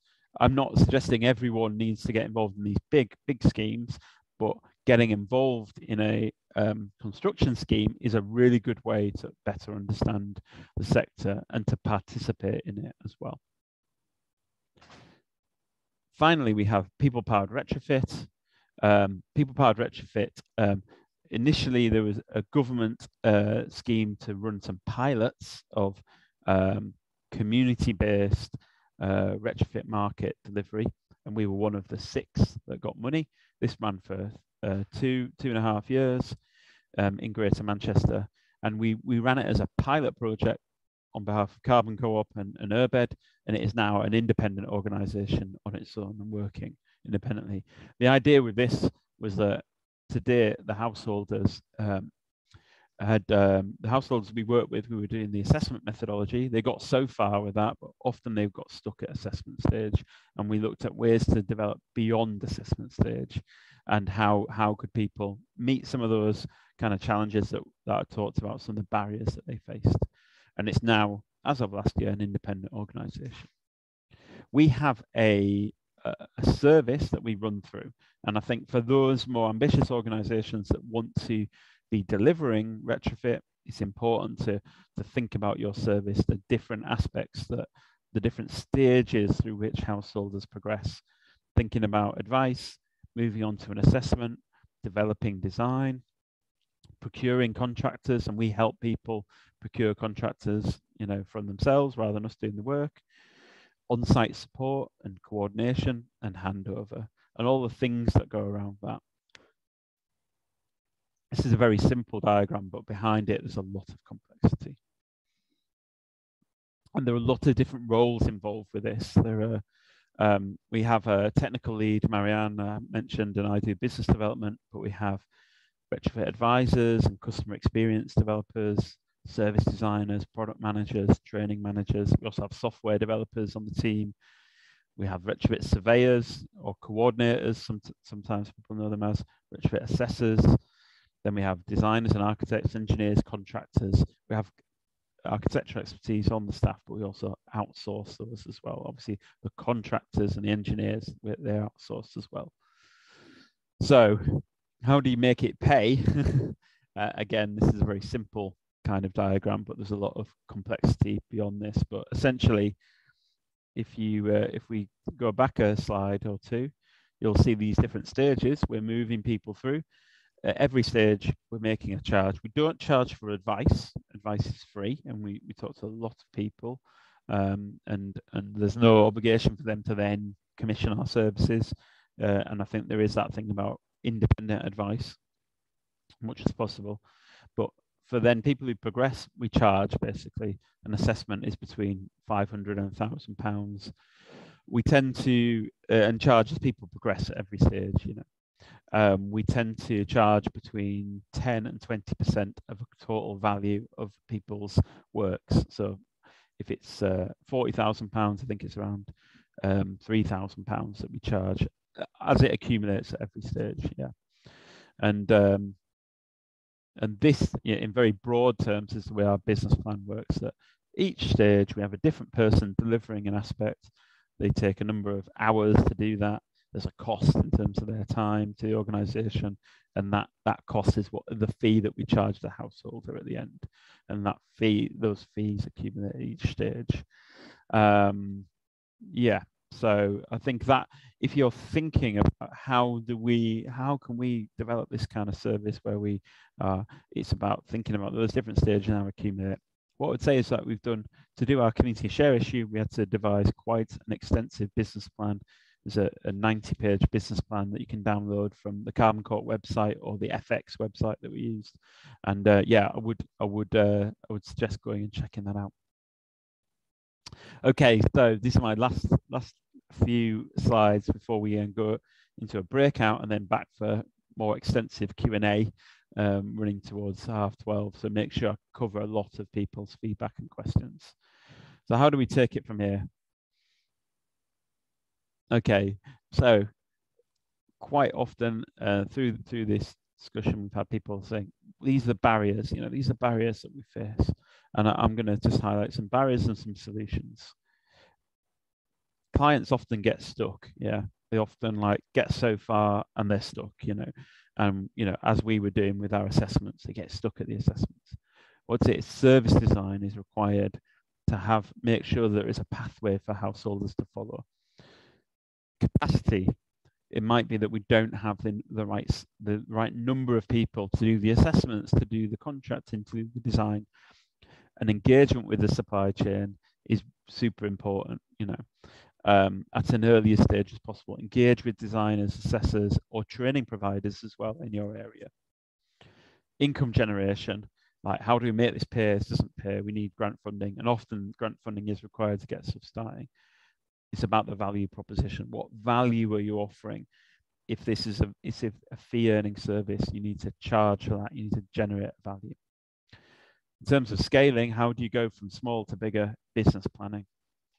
Thinking about how these different things match together, how their different income streams work. Okay, some advice, if I could, if I could be so bold as to offer some advice to people here today. Okay, I think it's about if you're thinking about a practitioner, a delivery service, build in the trust from the start. Make sure that people uh, trust the advice that you're giving them, and that they can trust it. Not for profit status or or community based is is a way to do that. Really keep client focused. too often in this sector, we think about things that have to be done. We have to retrofit all the houses. We have to do everyone in this community. Think about the people that are doing it. Think about uh, who, who, what their priorities are, and don't try and do everything all at once. Mapping and research is key to that. Again, talking to people, being iterative, flexible in the development. You know, you can come up with a plan and it'll change. You know, think about all the ways it needs to change over time. Building in technical expertise so that there is capacity there. And again, it's about value. Um, think about in-house technical expertise rather than external because you're outsourcing the value there. And as a community organization, not able to grow there to deliver, to, to build capacity and meet demand. Testing and piloting, starting small but starting. You know, if there's advice that you can be doing, training can access, a small scale service, start it and start trading as soon as possible. Um, start generating income in whatever way is possible if you're going down this route of social enterprise route. And be collaborative and open. There are so many organizations here on the call today in the area that want to do this kind of thing. There's there's no sense in like narrowing down. Being open, being collaborative is the key, really. So, final thing, questions to ask yourself if you're setting up this. Who who are your customers? What do they want? What are they willing to pay for? What's your value proposition? Where do you sit on that continuum from like, you know, simple advice to more complex? What does your blueprint look like in terms of the service, you know, the stages? Where are people getting stuck? Where are the gaps? What does your team look like? Which skills do you have which are missing, which you need to access? And how does this add up into a viable, sustainable service in the long term. And it might be that you can access grant funding to begin with, but the grant funding isn't always there. So we'll break into breakouts now and then come up with some questions, but more sources of information and advice. Carbon Co-op, we do training for contractors as well as household, householders and mentoring uh, for groups who are going through this process and, uh, and replicating stuff that we do. The AECB, Association of Environmentally Conscious Building, is a fantastic resource for technical aspects of retrofit, and there are good links to other organisations. Community Energy England have a lot of support around for community energy groups interested in community uh, retrofit. There are lots of webinars and training out there. Carbon Co-op YouTube is full of them on all sorts of different aspects of this and Northern Powergrid are here to offer more um, uh, potentially uh, more resourcing for community groups in the Northern Powergrid area. Yeah. Okay, so that was a lot of information in that second session. We now have a breakout session to reflect on the session, reflect on the lessons learned, and um, if we could do yeah. this for 10 minutes again, Kai, is that possible? Yeah, yeah, that, that's 20 fine. Minutes we'll, we'll yeah, we'll do these for 10 minutes and then come back into the room at, um, at, at, yeah, Emma will bring us back into the room at 10 past 12. And then I think obviously there's been a lot of questions asked in the um, in the chat there as well. I think if if you could all just pick up on on some of those in the breakouts as well, and then I'll just get the, each of the facilitators to sort of summarize two or three key questions um, when we when we um, when we come back into the main room. But yeah, do start thinking about some of the questions that are on the screen there about sort of lesson key lessons learned, anything else you want to hear about, um, and questions. So yeah, we'll go back into breakouts for, for 10 minutes now. Great. Hi again, everyone. Hope you, um, yeah, hope you all made the most of our final breakout session of the of the day. Um, spoke about, you know, anything that, that you'd like to know more of, key lessons that you, that you learned, um, or any any questions that were that were raised. Um, I think I think probably the the thing that's that'd be most most useful to do is just pick up on a few of those a few of those questions. So I'll I'll go around each of the uh, each of the facilitators, and if you could all just you know summarize in you know really briefly sort of three key questions um, that came up in your in your session, and, and Jonathan or others might be able to pick up on those. Um, so Prina, I can see you nodding. I'll I'll pick on you first. Thanks, Kai. Um, so two main things that came out from our breakout session. Um, so the first was um, concerns about the supply chain and who's going to be doing the work. So that's one of the key bottlenecks that people are finding. Um, so I guess, do we need to work with local colleges? Um, what is the solution around that? Um, and the second question was around the role of local authorities. are there examples of local authorities who are doing like good work in this and supporting? Is it the role of local authorities or community energy organisations? And just generally, um, are they well placed? So that was the two main points for mine. Cool. Do you want me to talk to those, Kai? Uh, yeah, yeah. If you if you could. Yeah, yeah. I think supply chain is a whole. That's as I said, it's a whole uh, kind of discussion in of itself. Um, what one thing, one thing I think is important is to understand what the supply chain looks like with regards to retrofit, and um, it can seem kind of all-encompassing and really, really scary. But actually, there are already organizations, already businesses working in people's homes with good technical competency who are focused on doing a good job for householders and who are eager to access um, high value uh, kind of services uh, that they can offer to householders. They want to help householders. So we don't need to think of that as like a huge, huge challenge. We just need to go out and engage with people in our area that are already doing stuff and interested in this. And there's lots of ways you can do that. Um, but but one of them is just picking up the phone, running a meeting, running a networking session, engaging with, listening to the contractors' needs. What are they interested? What's their barriers? I think there are um, advantages of working with colleges, but there are also disadvantages. Local colleges work in certain ways with their with people in their area. They can sometimes be inflexible, but they can also have absolutely fantastic kind of um, um, facilities and expertise and that sort of thing. There are ways to run your own training stuff as well, you know, um, that might work specifically for for the right kind of supply chain. And again, think broader than just people on the tools trades, because there are uh, architects out there, consultants, and they have links to supply chain as well that they work with already. Again, they're already working in this area. So think broadly and engage and talk. Local authorities' role is interesting, I think. Um, I think potentially is a great link up between local authorities and community energy organisations, grassroots organisations. There is an enabling role there. We talked in our session about how a £10,000 grant to Carbon Co-op made a huge impact in the work that we could do and helped us scale up over time. So it's not about like spending loads. It can be that local authorities don't necessarily give us the respect that we um, should have and see us merely as conduits for communication and for information. I think it's important for local authorities to see community energy uh, organizations as potential partners and think about how we can grow together. I think on the other side, like the the flexibility, the engagement, the the passion and commitment that community energy organizations demonstrate within their membership within them, their organizations offer great something great and unique to c- councils. And councils offer a, a, scale and a scope that community energy organizations often lack.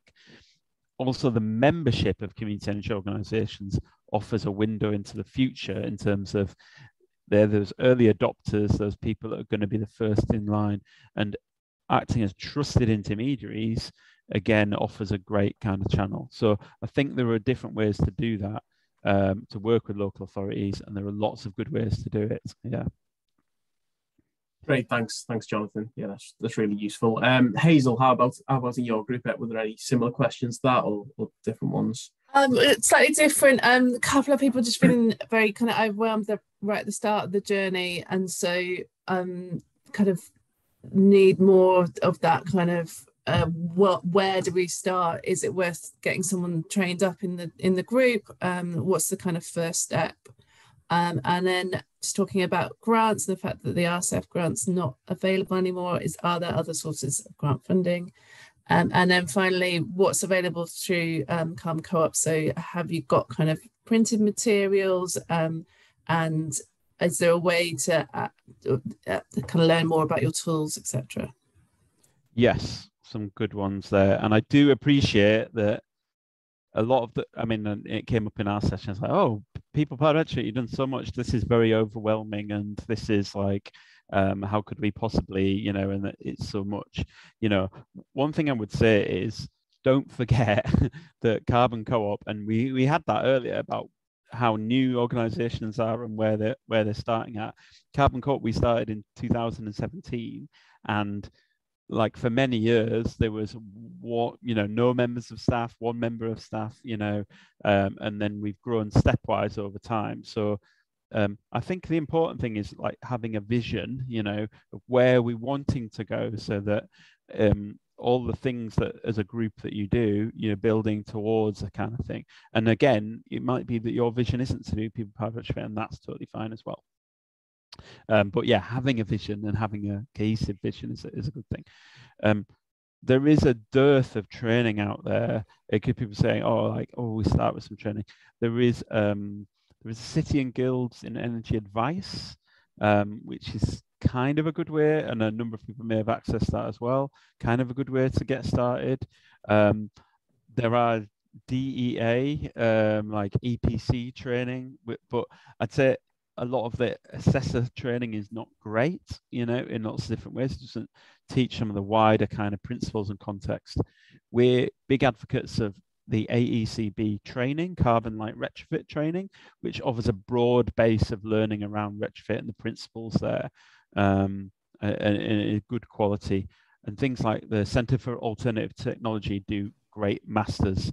Again, that's a bit of a commitment, obviously, and a cost as well. But there are little bits of training, little bit of things you can access to kind of build your way through this.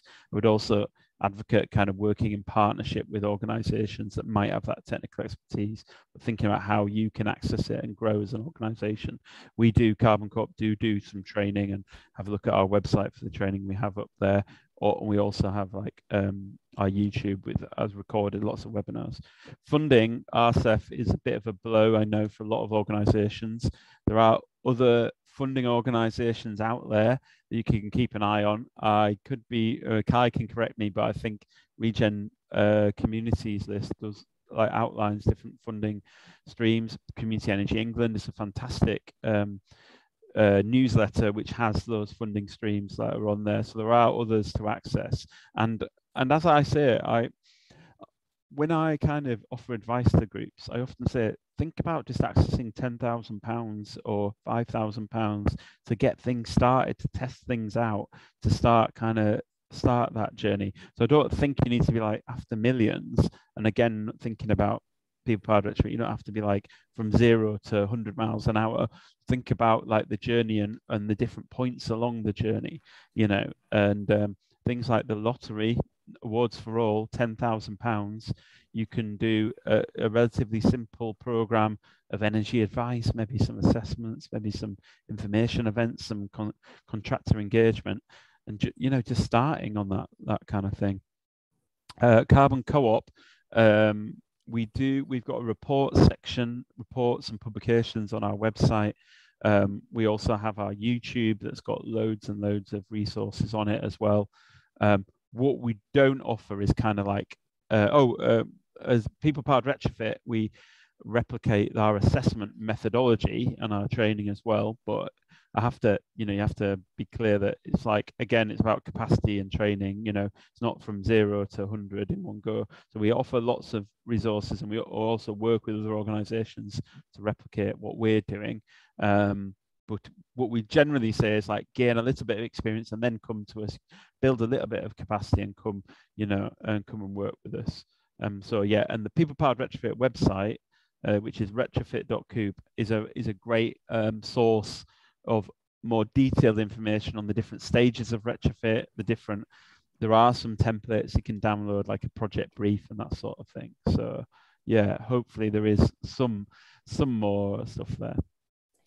I'm just going to quickly. Oh, go sorry. On, yeah, no, go on, go on, Um, and it's a good time to just um, say that Northern Powergrid currently have um, a community energy fund where we're giving um, five to ten, um, up to ten thousand pounds um, for kind of all stages of um, community energy organisations. So just what Jonathan was saying, that if you want to start up and get some training, um, that's one way you could use that fund. Um, and so I'm just going to put the link in the chat to the document with the guidance for it. Um, and you can then see if that would fit um, for your organization. So, and if you have any more questions, please do email me directly as well. Great. Yeah, thanks, thanks, Prina. Uh, yeah, it's a really good good point. As as Jonathan said, you know, you can get get some really good programs started with between you know between five and ten thousand pounds, and that's that's the idea with this Northern Powergrid um, Community Energy Fund at the moment. So do do get in touch with Prina if you've got any questions about that and, and check out that um, that link as well for a, for a source of funding. And yeah, thanks Jonathan for the plug for the Regen Community Energy newsletter as well, where we do George does do a great job of summarising the funding that's that's out there. So if you want to, if you're not receiving that at the moment and you want to, um, then do get in touch with George, um, and I'll, I'll, yeah I'll send around all that information after um, after the session as well. Um, so yeah, just quickly, George, did, were there any other questions in your breakout that we haven't haven't covered so far um, that might have might have come up?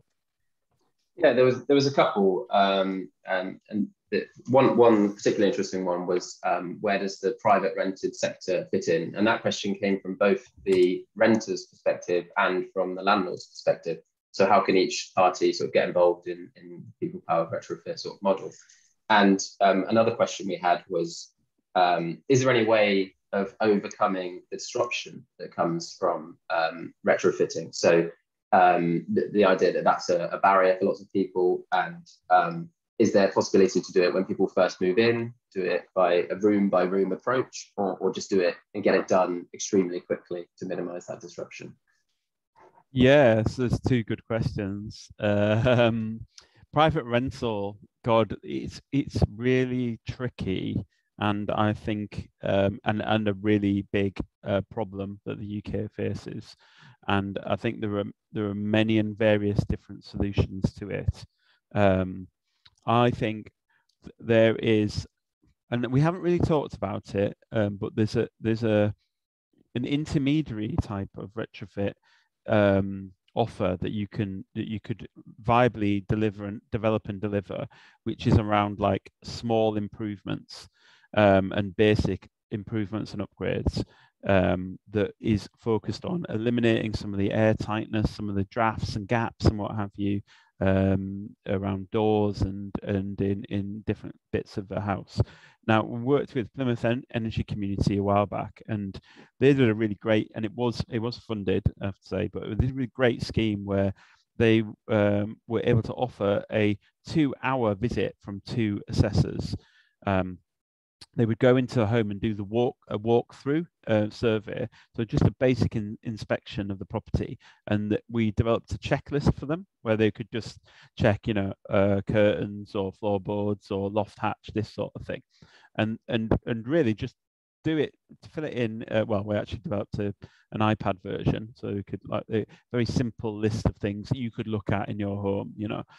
Then they, that would take about half an hour. They then had about an hour and a half to do as many of the upgrades as they could, and they took you know all those kind of like eh, DIY B and Q kind of stuff, like stuff around doors and what have you, and they just and um, and uh, you know uh, expanding from what have you, and they just went around and did as much as possible, yeah, and th- that that kind of upgrade can be done in low income areas you know, or in able to pay areas, and is relatively um, minimal kind of skill requirement from a from the assessor, you know, but it's a valuable service and it can make the difference around like um, the people's perception of cold, of, of drafting, whatever. It can make some basic improvements.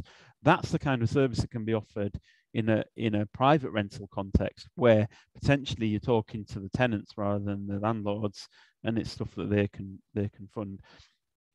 Are real real problems around how um, how benefits are shared from retrofit essentially in a private context. Because the landowner, the landlord essentially is paying for them, but the bills are paid for by the householder. So the, there's almost like for the tenants, so there's almost like an inbuilt disincentive for people to for landlords to act really. They have to do it because they want to you know.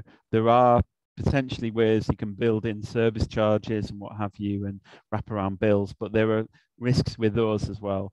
Really, really fundamentally, um, there are MEES, minimum energy efficiency standards, is a law around private rental, you know, that they have to achieve a certain level. It's not, it's not properly policed and implemented. And that's around um, councils not having the resources to do that and government not sending a signal not the sticks, and there aren't the incentives then for landlords. So there are some things, awareness, advice, basic measures that can be done in private rental and others.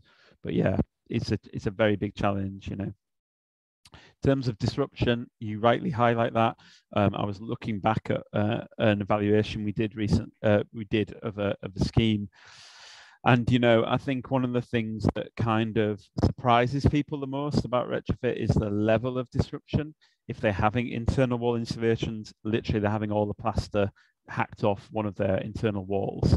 If they're having new windows, like the whole window has to be hacked out. You know, there's dust, there's men and, and women and people and people in their house. You know, uh, um, if they're doing it at a cold time of year, you know, there's it's they're exposed to the elements. You know, and um, and they can and it can feel quite disruptive. It's your home, it's your safe space.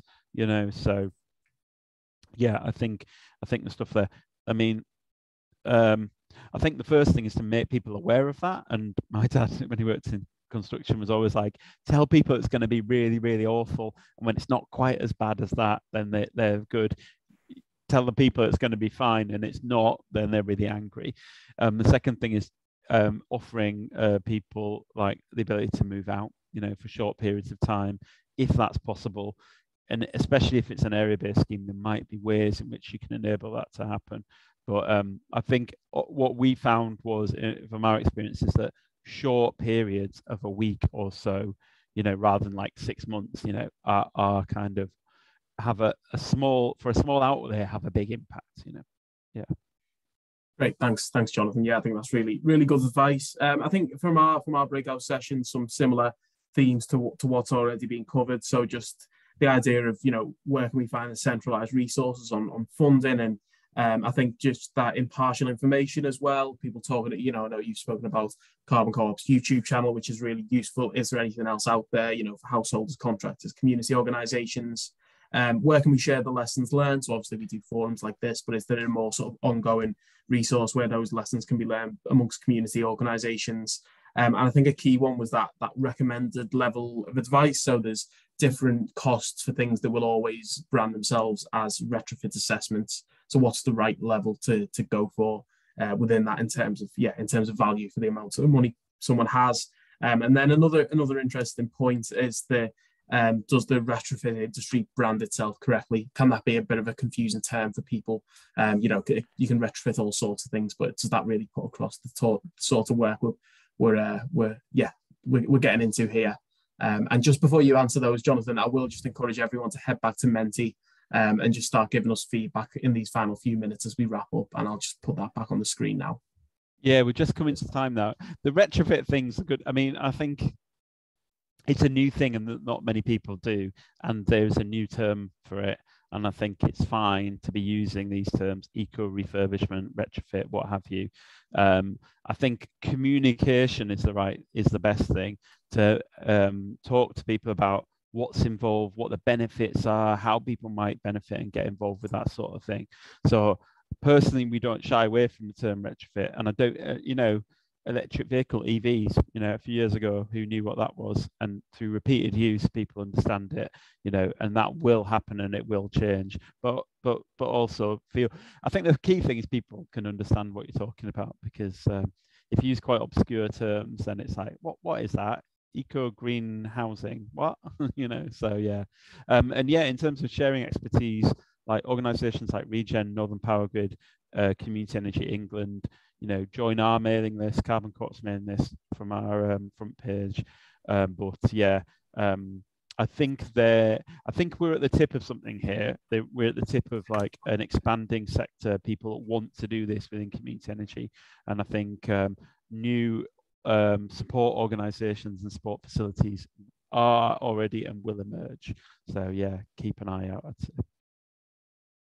Great, thanks, thanks, Jonathan. Uh, yeah, that's I think that's a really, really good point on sort of yeah how the sector brands itself and, and puts that across. And when it's a new thing, I think there will always be be some confusion on that. Um, but yeah, as as we said, uh, we, we are getting towards towards time now, so we're really keen to get your your feedback um, on this session understand, you know, how you we asked you when you signed up, how you'd rate your understanding of household retrofit. We really want to know where that stands now to, to so we can see just how what sort of difference that's that's made to your to your interest. um, whether we we want to put on a similar session to this again, whether there's some some more, you know, as as Jonathan's mentioned, there's you know there's a lot of topics within this that you could spend an entire sort of training session webinar going through, whether that's that's necessary and, and different ways. Um, and the, yeah, the previous question, what you're going to do in your community as a result of this, is a really key one that we'd that we'd like to know as well. Um, so yeah, we've we've had this session, but what what are you going going to do next? Um, and then, as I, as I mentioned earlier on, um, we do, we do that. We've we've ended up doing this session as, as a result of feedback that we've had from all of you um, that have been to previous events on what you'd like to hear about. So do um, I think that's that's the last question we've got. So do do let us know that. Um, and we always like to get your your feedback on on how you how you found the session. Um, so we know, yeah, we can we can design these sorts of sessions to, to suit you. Um, we like to know how you how you found it, whether there's anything different you'd like us to to bring um, to the session, um, and yeah, what you what you what you want to know next time is a is a key key thing for us. Um, but while while you're filling that out, um, you know we we've we run this program of work with with Northern Powergrids. We've got a few of them on the call. I know we've mentioned the the fund already, but uh, Helen, I just wanted to give give you a chance if there was there was anything that you wanted to touch on just before we finish. Um, yeah, thanks, um, Kai, and thanks for everybody's contributions. It's been absolutely fascinating. Um, I, I, think um, from the amount of discussion and questions and people's life cycle in this area, we would be really interested in um, talking to to um, to Carbon Co-op about a further session if people would be interested in this particular area, maybe going into some of the, the case studies in more detail um, and also having a look at, you know, the community-led engagement. But in addition to that, we really welcome your feedback on particular topics you'd like us to cover in this way um, as an ongoing conversation, because, you know, the way to create, create momentum is to get lots of voices joining together and learning from each other. And that's the sort of space we occupy in, in the role we play. So yeah, we're very, very open. Um, and just underlining what Kai and Prina have said about the fund, um, we've got an opportunity for to support community energy and also you might have seen some announcements around Northern Powergrid supporting community resilience with a very large pot of funding post storm. So there will be information around that um, because obviously there's a link with, between resilience and decarbonisation. So yeah, we see this as an ongoing conversation. So thanks to you all, but also thanks to Regen for coordinating. Thanks, Kai. Great, thanks, thanks, Helen. Yeah, as Helen mentioned, do look out for any funding opportunities for Northern Powergrid and let us know what you want to cover at future sessions. You know, we've done this as a result of of you all telling us you you want to know more about retrofit. So let us know if you want to want to hear more about this. Um, where, where yeah, whether there's there's the specific topics within this that you'd like to know more about, or whether you want to know about um about different different topics um instead. But yeah, I mean, uh, Jonathan, was there any any final sort of thoughts thoughts from you before we wrap up? Uh, no, just like thank you to everyone for coming and participating and getting involved. Uh, yeah, we are. I'm really keen to learn from the session what we could do better. So please do give us negative comments as well as positive. And um, yeah, and the the work of Northern Powergrid in kind of supporting this is is really vital, I think. And and you, you there are kind of policy things afoot within the DNO space, and you never know there might be more ways that people like Northern Powergrid might get involved in the next two, three, four, five years. So it's a very interesting time, I think. Yeah, definitely. So yeah, do do sort of continue the conversation with us keep involved, you know, sign up to the mailing list we've we've talked about today, look at other resources and do join us at, future sessions. Um, but yeah, I think we'll we'll wrap up there. So it's just a really big thank you to to Jonathan for, for joining us today and yeah, imparting his knowledge onto us, guiding us through all of that. Um, a massive thank you to all of you for joining and for being really participative in this in this session. It only works when you sort of interact with us yeah, so thanks thanks for doing that throughout this morning. Uh, really big thanks to the rest of the Regen team, Prina, George, and Hazel for helping us facilitate the sessions and and, uh, and those breakouts as well. And um, and yeah, really big thanks to, to Northern Powergrid, uh, Helen and, and and the rest of the team there for for supporting this program of work. And do look out for information on that on that fund um, in particular as well, and, and join us at future sessions as well. But I hope you've all found this morning um, interesting. I hope you can go away and, and, you know start thinking about some of these schemes and how you can deliver them in your own community. If you have any more feedback for us, please please do let us know. Um, but yeah, for now, I'll just thank you all for coming and let you go off and um, enjoy the sunshine. Great, thanks everyone. Thanks so much. See ya.